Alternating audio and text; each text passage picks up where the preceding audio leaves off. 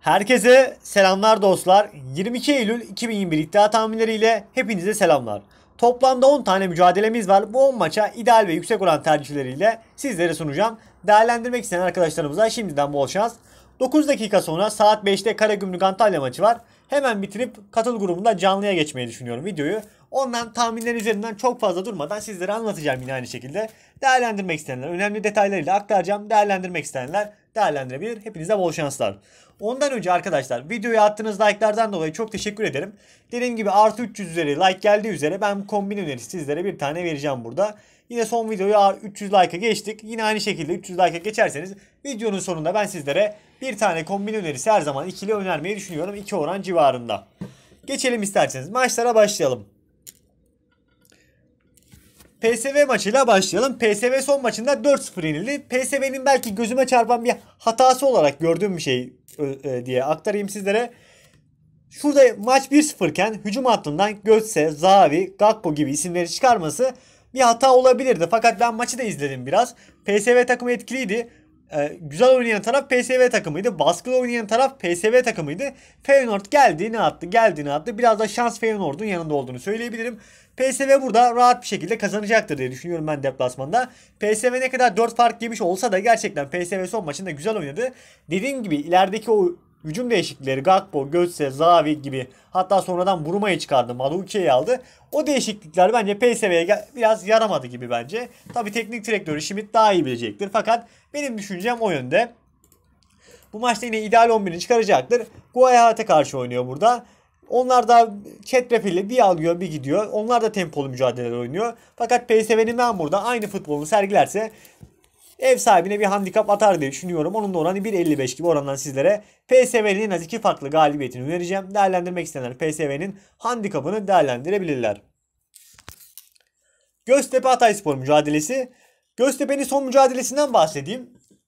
Ee, Altay'la oynadılar. Yenildiler. Biz o maçta kazandık gerçekten. Güzel oldu. Şimdi arkadaşlar Göztepe gerçekten hücum hattında iyi işler çıkartıyor. Hücum hattında iyi işler çıkarıyor dediğim zaman şunu algılayın. Son maçta özellikle Halil Akpınar önderliğinde çok fazla kontraya çıktı ve kontralarda gerçekten başarı yaptı. Fakat Göztepe'nin bir sıkıntısı forvet. Bakın bu Ndiaye yine ilk 11'e ideal olarak yazılmış. Bu Ndiaye ile olmaz arkadaşlar. Son maçta da oynadı. Gerçekten olmaz. Son maçta penaltıdan attığı Göztepe golü. Fakat bu Ndiaye ile olacağını düşünmüyorum ben. Onu belirteyim. Onun yerine Jaoui çok daha iyi olur diye düşünüyorum Göztepe'nin hücum hattına. Hatay takımı Diouf önderliğinde hücum hattında iyi işler çıkarıyor. Traore, El Kabi yine sağ açığında Ankara gücünden tanıdığımız ise o da çok güzel başladı. Oynadığı 4 maçta 3 gol 2 asist mi ne yaptı zaten. Muazzam bir şekilde ilerliyor. Hatay'ın da golünü, Göztepe'nin de golünü bekliyorum ben mücadelede. Göztepe deplasmanda oynasa belki golüne girmezdim. Fakat Hatay kendi üzerinde önde oynadı, önde oynayan bir takım. Burada çok fazla defansına çekilmeyecektir. Tempolu oyna, tempolu bir maç olacaktır. Her iki takımda oynamak isteyen takım olduğu için burada KG varı bence idealden değerlendirebiliriz. Oranı da zaten 1.63 gibi oran açmışlar. Değerlendirmek isteyenler burada KG varı değerlendirebilirler. Galatasaray Kayseri ile Galatasaray mücadelesi. Hemen ondan önce katıl Telegram gruplarından bahsetmek istiyorum sizlere. Dün vermiş oldum. Dünün performansına bakalım isterseniz. Şöyle dün saat zaten 5 gibi başladık. Bolu Spor, 0, Bolu Spor 0.5 üst şeklinde verdim. Onun da oranı 1.45 gibi orandan. Ben dakika 40'ta vermişim. Maçı seyrettim. Kaçan net Bolu, Bolu golü var burada bakın. Kafayı vurdu. O direkten dışarı gitti. İstanbul kırmızı gördü.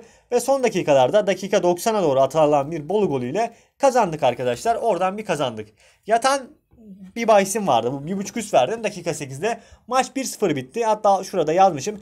22 şut tek gol. Bu bizi yatırdı. Bir buçuk üstünü vermiştim. Canlıdan verdim. Keçiören 0.5 üst. Risklisi ikinci gol Keçiören şeklinde. Burada salın direkler dedik. Ali Yavuz'un direkten dönen topu var. İkinci gol Keçiören geldi. Aynı şekilde deplasman 0.5 üstte idealden kazandı. Aynı şekilde Barcelona maçına 3.5 at vermiş editör arkadaşımız Mert. O da başarılı oldu. Dünün canlılar bu şekildeydi. Toplamda 4 tane canlı verildi. 3 tanesi başarıyla sonuçlandı. Sizler de katıl grubuna gelmek istiyorsanız hemen göstereyim sizlere. Abone arkadaşlar. Katıla tıkladığınız zaman burada hem ekstra kombinelerden hem de canlı bahislerden faydalanmak istiyorsanız Telegram grubuna gelebilirsiniz. Ayrıca Telegram yüksek oran grubunda da zaten yüksek oranlı tercihlerimiz de var. Bugün mesela 13 oranlı bir kombine önerdim oraya da. Onun dışında her şey dahil iletişim seviyesinde de zaten WhatsApp iletişim numaram var. Yüksek oynayanlar genelde oradan bana yazıyor. Bu maça yüksek girilir mi şeklinde. Ben de ona göre ses kaydı atarak zaten açıklayarak anlatıyorum. Sizler de zaten giremeyenler varsa veya sorusu olanlar varsa sol altta Kanga Tips şeklinde yazıyor. Oradan iletişime geçebilirsiniz. Galatasaray Kayseri mücadelesinden devam edelim. Galatasaray'ın son maçında başarısız olmuştuk. Bildiğiniz üzere evsel 1.5 üstüne rolling yapmıştık. Yenildi 1-0. Galatasaray takımı gerçekten iyi oynamadı. Yani videoda bahsetmiştim. Lazio maçının rehaveti olur mu diyerekten de onun da rehavetinin katkısı mutlaka oldu diye düşünüyorum ben Galatasaray takımına. Burada Hikmet Karaman'ın öğrencilerine karşı oynayacak Galatasaray takımı. Ben burada Galatasaray Kayseri takımının çok da kötü olmadığını biliyorum. Özellikle Tiam, Mensah gibi isimlerle iyi işler çıkartıyor. O yüzden bazı eksikleri var. Mesela Karol bu mücadelede oynamayacak. Gavronovic Kayseri'de yine aynı şekilde bu maçta oynamayacak. Galatasaray'da ise eksik olarak Markao var. Cezalı bildiğiniz üzere. Onun dışında diğer ilk 11'ini çıkaracaktır. Galatasaray bu mücadeleyi kazanabilir. Fakat ben kazanırken de Galatasaray takımının gol yemesini bekliyorum. Belki de kazanamaz hatta Galatasaray. Taraf bahisine gitmeyeceğim burada. Ben Kayseri'nin hocası Hikmet Karaman'ın bu tür maçlarda da iyi bir performans çıkardığını bilerekten de hatta geçen sezon Ankara gücüne Ankara gücüne geldiği zaman ilk maçında sanırım Ankara gücüyle 3 kilik galip geldi. Yanlış hatırlıyorsam düzeltin. E burada ben KG varı aldım. Her iki takımın birbirine gol atmasını bekliyorum. Galatasaray zaten defansında Luyendam oynayacak. Bu mücadelede o zaten ayaklı bomba. Yine Kayseri'nin ben zaten kendi evinde burada mutlaka pozisyon bulmasını bekleyerekten de Galatasaray'ın da golünü Galatasaray'da ayrı bir performansla oynayacaktı. Keza Kayseri Spor da burada ekstra bir performansla oynayacağını düşünüyorum. Değerlendirmek isteyenlere bol şans diyerekten geçeyim. Milan Venezia mücadelesiyle devam edelim. Milan takımı arkadaşlar burada galibiyete yakın takım. Pioli'nin öğrencileri gerçekten iyi başladı. Liverpool deplasmanında 3-2'lik mağlup oldu. Hatta öne geçmelerine rağmen mağlup oldular. Son maçında Juventus'ta zaten bildiğiniz üzere 1-1 berabere kaldılar. Biz de tercihini söylemiştik. Pioli'nin öğrencileri burada ben kazanır diye düşünüyorum. Baktığımız zaman zaten burada Giroud ve İbrahimovic şüpheli durumda. İkisinden biri oynarsa güzel olacaktır. Milan adına Venezia kötü bir gidişte. Milan buradan biraz daha moral bulmak için ben galibiyetini aldım. Galibiyetini alırken de 4.5 altına 1 yaparaktan oranı yükselttim. 1.50 gibi orandan ben değerlendirdim. Değerlendirmek isteyenler bu şekilde değerlendirebilirler. Anje ile Marsilya. Marsilya gerçekten bu sezon iddiacının dostudur. Ben zaten bir videomda bahsetmiştim. Marsilya'nın ev 1.5 üstüne geldim. Sıradaki golüne girdim son maçında. 2-0 gibi skorla kazandı arkadaşlar. Anje ile oynayacak. Ange'nin zaten bu sezon deplas her maçında gol attığını söyleyebilirim. Keza zaten sizler de bakarsanız görürsünüz. Ben Marsilya burada gerçekten önde futbol sergiliyor ve uzun toplarda kanatlarda çok güzel başarı sağlayan takımlardan bir tanesi Marsilya. Fransa'da zaten ya lider ya ikincidir. Ha, ikinci durumda e, ikinci durumda ilerleyen Marsilya Anje kendi evinde Anje de kendi evinde korkusuzca bir futbol sergileyecektir. Ange'nin herhangi bir eksikliği yok. Marsilya'da bir eksiklik var. Alvaro Gonzalez bu mücadele cezalı durumda. Ben burada Ange'nin de Marsilya kalesine gol gönderebileceğini düşünüyorum. Oran yine çok yüksek. 1.67 gibi orandan KG var öneriyorum. Değerlendirmek isteyenler burada KG var seçeneğini değerlendirebilirler. Hepinize bol şanslar diliyorum bu mücadelede. Lens Strasbourg mücadelesi. Lens'in zaten il maçını seyrettik izledik. Lens kendi evinde muazzam bir taraftarı var. Taraftarı gerçekten çok ateşleyici bir taraftar. Son il maçını izleyin. Ee, güzel bir maçtı. Lens takımı kazandı zaten. Acımadı bastı geçti. 1-0 gibi skorla. Hatta bir tane daha gol attı. iptal oldu Lens takımı. Burada yine galibiyeti yakın taraf açıkçası Lens takımı. Fakat Strasbourg'da ben burada iyi bir futbol sergileyeceğini, Lens'in galibiyeti buradan belki bizi yatırabilir diye düşünüyorum. Burada Strasbourg'un da atacağı bir golü değerlendirdim. Yine ben bu mücadelede KG varı aldım. KG varın oranları gerçekten çok yüksek açılmış Fransa'da. Hatta son zamanlarda Fransa Ligi bence en gollü geçen liglerden bir tanesi. Burada da karşılıklı gol varı ben bekleyeceğim. 1.60 gibi orandan KG varı değerlendirmek isteyenlere önerimdir. KG var sizlere bu mücadelede. Lorient'le Nice mücadelesi. Nice'in son mücadelesini izledim Monaco'ya karşı. Maç 2-2 idi. Penaltı kazandı. Nice takımı kullandı. Neydi sakallı bir eleman vardı. Dışarı attı. Arap Guzi mi? Neydi adı? Adını bir şöyle bir öğrenirsek. Go ha, Guri Guri. Guri diye bir eleman. Sakallı. Hatta ben şunu da söyleyeyim. Penaltıyı kaçırdı. Formasını şöyle bir asıldı. Formasını adam ikiye yırttı. O derece sinirlendi. Hatta ya gelişinden belli. Adam biraz kazma bir adamdı. Hatta onu da, şunu da söyleyeyim. İlk golün asistini de o yaptı. Nice gerçekten güzel bir takım. Özellikle teknik direktörün faydası çok çok fazla. Monaco'yu da az daha alıyorlardı. Ellerinden kaçtı. Ee, burada Nice'in öne en golcü ismi vardı. Şu an sakat olarak gözükmüyor. Sakatlıktan çıkmış diye gözüküyor. Guri geçmiş gelse de Dolberg arkadaşlar. Çok kaliteli bir isim. O sakatlıktan çıkmış diye gözüküyor. Şu an ekranda gözükmüyor. Ee, oynarsa Nice adına pozitif olacaktır. Ben burada Lorient'in de kendi evinde korkusuz bir futbol sergilediğini, kendi evinde oynadığı zaman zaten maçların çoğunda da gol buldu. Hatta bu sezon oynadı. iki maç oynadı sanırım kendi evinde. Hepsinde gol buldu. Onlar da güzel bir çıkış yapıyor. Gollü bir mücadele bekleyerekten de karşılıklı gol var. Yine 1.61 gibi olandan alacağım. Değerlendirmek isteyenlere bol şans diyerekten de geçeceğim.